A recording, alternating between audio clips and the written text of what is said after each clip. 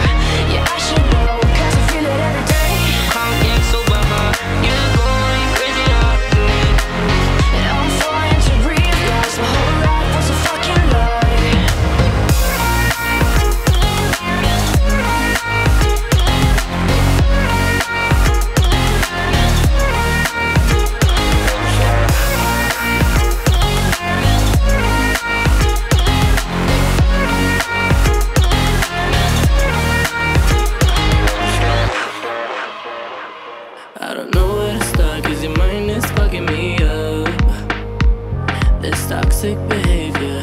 I don't wanna be a failure. Can someone let me know how it feels to be normal? Cause in my head, it's this fucking freak show.